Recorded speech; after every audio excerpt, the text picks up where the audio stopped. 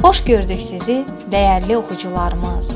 Bu gün sizlərə yazıcı, filosof, şərhşünas və psixoloq Rövşən Abdullayevin Çətin olsa da həyat davam edir adlı kitabını təqdim etmək istərdim.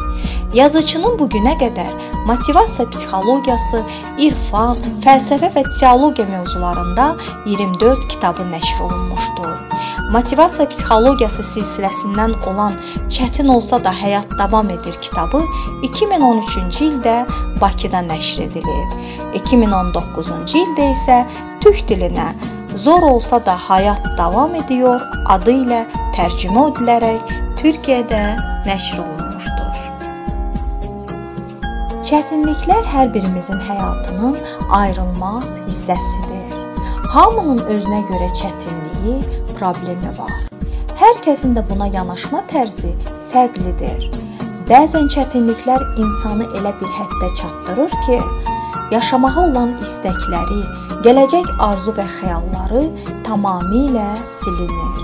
Belə anlarda həyat insan üçün çox dözülməz olur.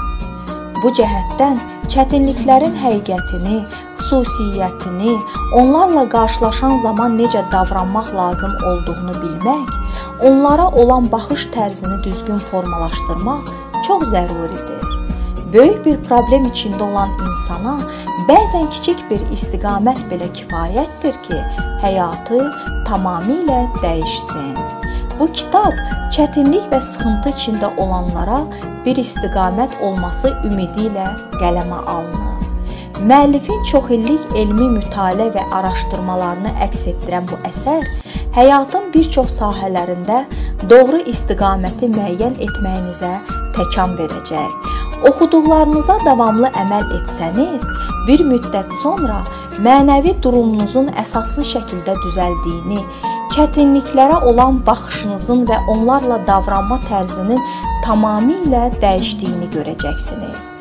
Bəli, həyatın asan olmadığı həqiqətdir. Lakin çətin olsa da həyat davam edir.